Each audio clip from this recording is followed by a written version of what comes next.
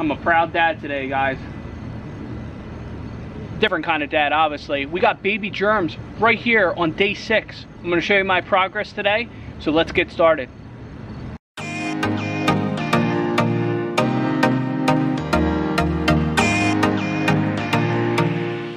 So like I said, I'm a proud dad today. I got some baby germination right here. I actually saw germination on day four. Um, I'll show you a picture here. Uh, it was just sprouted out. I was early in the morning when I left for work and I could see the little bit of grass obviously, the little bit of green popping out of the ground and that's awesome. I mean day four for germination on a seed is so awesome. I mean that's just that's what happens when you get quality seed. Quality seed is just gonna have a better germination rate. It's gonna have a faster germination rate. And that's why I really harped on having good quality grass seed on one of the five steps for my successful overseed. So like I said, day four, I saw germination. We're at day six right here. This is Friday, September 10th. I threw down September 4th over Labor Day weekend. So we're at day six.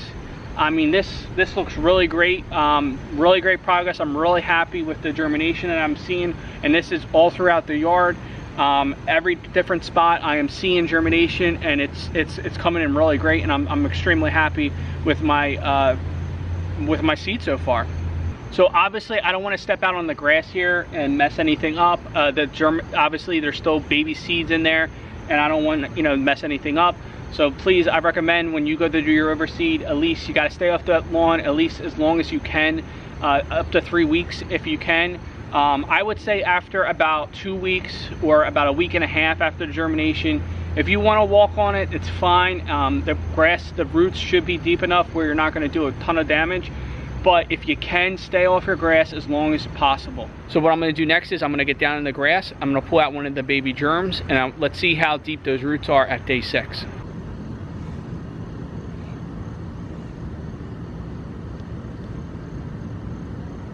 Oh, look at that.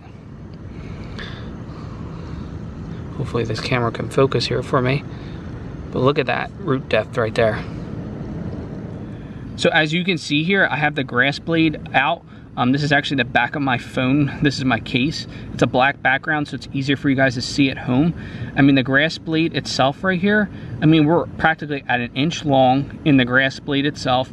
And the root over here, I mean, we're probably almost at a half an inch and you can actually still see the grass seed itself. I mean, it's literally still germinating right now through the grass seed, and we're only at day six. So this is awesome progress. I'm so happy I went with a high quality seed with the Mountain View seed, and I can't wait to see this continue to grow. So some of the things to point out on my lawn behind me, obviously you can still see some weeds and things like that.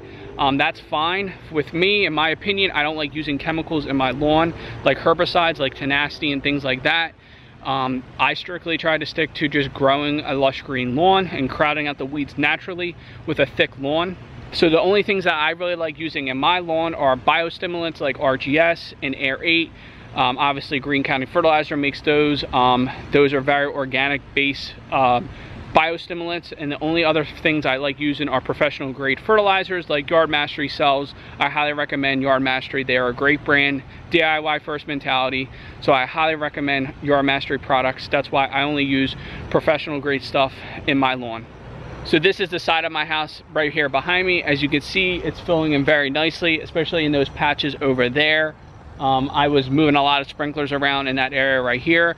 And as you know, I completely covered my lawn with peat moss, with the Landzie peat moss spreader. Um, I highly recommend that if you are gonna do a top dressing like peat moss, it made things a lot easier.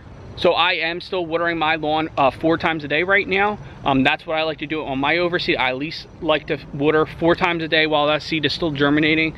Obviously you can see it is still germinating. It's only at an inch long and a half an inch at that root depth right now.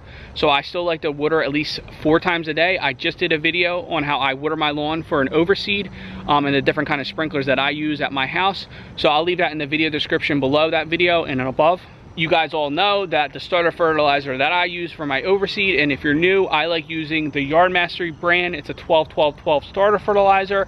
Um, I just really like their brand and I like using it. It's a very balanced starter fertilizer. Um, so I'm gonna throw that down again on day 15, three pounds per 1,000 is the recommended rate.